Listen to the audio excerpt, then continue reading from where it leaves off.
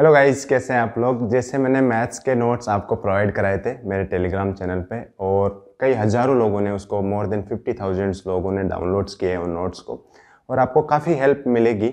I am sure about it क्योंकि आपको पता चला होगा कि आपको नोट्स कैसे बनाने मैथ्स के शॉर्ट्स में कैसे नोट्स आपको तैयार करने कैसे क्वेश्चंस के नोट्स आपको बनाने चाहिए।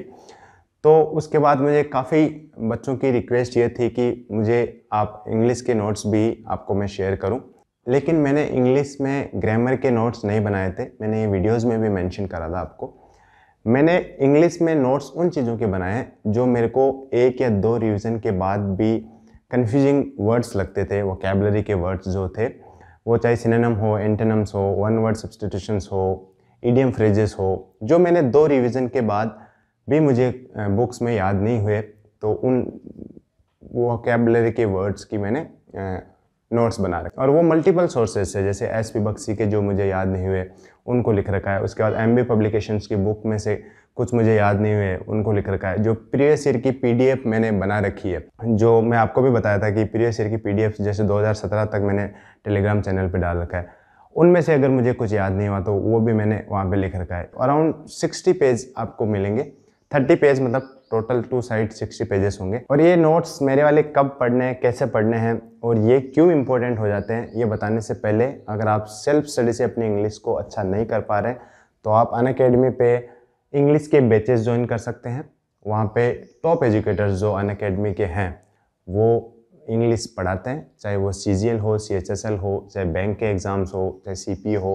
प्रीलिम्स मेंस दोनों को कवर करके इंग्लिश के प्रॉपर बैचेस वहाँ पे चलते हैं। अगर टॉप एजुकेटर्स की मैं बात करूँ अन अकेडमी के तो वो है Barkha Agarwal ma'am, Aman Vashisht sir, Rani Singh ma'am, Pandit Kaur ma'am. तो इन टीचर्स से आप अपनी इंग्लिश की अच्छी तैयारी कर सकते हैं अन अकेडमी पर जब आप इसका सब्सक्रिप्शन लोगे तो आप किसी भी टीचर्स से पढ़ सकते हैं। कोई सा भी टॉपिक किसी भी टीचर से पढ़ सकते हैं। कोई से भी बैच में आप जो टीचर्स पढ़ा रहे हैं, जैसे एसएससी का आपने सब्सक्रिप्शन लिया तो उसमें जितने भी टीचर्स पढ़ा रहे हैं, उनमें से किसी भी टीचर से आप पढ़ सकते हैं।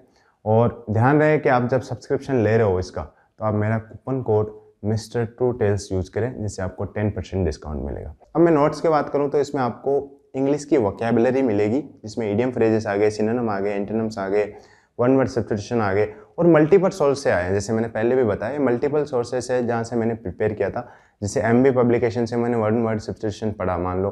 उसमें कुछ दो रिविजन के बाद में मुझे कुछ डिफ़िकल्ट वर्ड लगे, जिसको हम गोला करते हैं ना किताब में, या टिक मार्क करते हैं कि ये वाला वर्ड मुझे याद नहीं हुआ तो वैसे वाली चीज़ों को मैं एक अलग से पेज में लिख के रखता था, ताकि जब एग्ज़ाम के दस या पंद्रह दिन बचें तो उस टाइम उन चीज़ों को ज़्यादा रिवाइज करो जो आपको याद नहीं हुई है, ज़्यादा कन्फ्यूज़न लगती है। क्योंकि कुछ वोकेबलरी ऐसी होती है जो फ़र्स्ट रीडिंग और सेकेंड रीडिंग में हमें याद हो जाती है, लेकिन एग्ज़ाम के टाइम हमें उन चीज़ों को दोबारा पढ़ने के बजाय उन चीज़ों पर ज़्यादा फोकस करना पड़ेगा, जो हमें याद होने में डिफ़िकल्ट लग रही है। तो उन चीज़ों को हम ज़्यादा से ज़्यादा देखेंगे तो कैसे देखेंगे? हम सेम बुक में टिक मार्क पे जा जा के देखेंगे तो हमारा थोड़ा टाइम वेस्ट होगा, इसके बजाय उनको अलग लिख लो। तो मैंने क्या करा, एक वाइट पेजेस में सबको लिख रखा है, और सोर्सेज का नाम लिख रखा है हर पेज के ऊपर कि ये पेज के डिफ़िकल्ट वर्ड किस सोर्स से उठाए हुए हैं। कितने रिवीजन कर रखे हैं, इनको दोबारा रिवाइज करना है, नहीं करना। ये चीज़ें मैं अपने लेवल पे लिख के रखता था और मैं सजेस्ट करता हूँ कि जो भी बच्चा प्रिपेयर कर रहा है, ये चीज़ें वो लेके चले, एक प्रॉपर स्ट्रेटेजी वो फॉलो करके चले, तभी एग्ज़ाम फ़र्स्ट अटेम्प में क्रैक होता है। आप सिंपली फ्लो के साथ जाओगे तो डेफिनेटली आपका स्कोर कहीं ना कहीं अच्छा नहीं हो पाएगा, आपको प्लान करके चलना पड़ेगा। इसलिए मैं हर चीज़ को पूरा स्ट्रेटजी के साथ फॉलो करके चलता था, इसलिए ये नोट्स बना रखें आप इनको देख सकते हैं कि कौन से मेरे डिफ़िकल्ट वर्ड्स थे जो आपको भी कहीं ना कहीं हेल्प करेंगे और इसमें हिंदी और इंग्लिश दोनों मिक्स है। मतलब मैंने अपने हिसाब से हिंदी में उसका ट्रांसलेशन भी लिख रखा है, कोई वर्ड है वो इंग्लिश में याद हो रखा है तो इंग्लिश में लिख रखा है और उसके हिंदी वर्ड्स भी मैंने साथ में लिख रखे ये नोट्स टेलीग्राम चैनल पे अवेलेबल है, आप जाके डाउनलोड कर सकते हैं। फ्री ऑफ़ कॉस्ट है, कोई चार्जेस नहीं है इस चीज़ के। और इससे पहले मैंने मेरे पूरे कंप्लीट नोट्स मैथ्स के वहाँ पे डाल रखे हैं, आप वो भी डाउनलोड कर सकते हैं टेलीग्राम चैनल पे। आप जब ये नोट्स डाउनलोड करोगे, सबसे लास्ट वाला मैसेज ये वाला नोट्स होगा, उससे पहले मैथ्स के नोट्स आपको मिलेंगे। वो कंप्लीट नोट्स है। मैंने पूरी प्रिपरेशन में थोड़े से इंग्लिश के और कंप्लीट नोट्स मैथ्स के बनाए थे। तो आप नोट्स जो मैथ्स के नोट्स है, वो कंप्लीट वहाँ से डाउनलोड कर सकते हैं। बहुत अच्छे नोट्स मैंने बनाए हुए हैं। इतना इस वीडियो में। मैंने, मेरी तरफ़ से जो हो सकता है, आपको चीज़ें मैं असिस्टेंट प्रोवाइड कर रहा हूँ। आपने अगर ये चैनल सब्सक्राइब नहीं किया है तो आप सब्सक्राइब करके इस चैनल को सपोर्ट कर सकते हैं। This is all in this video thank you guys thanks for watching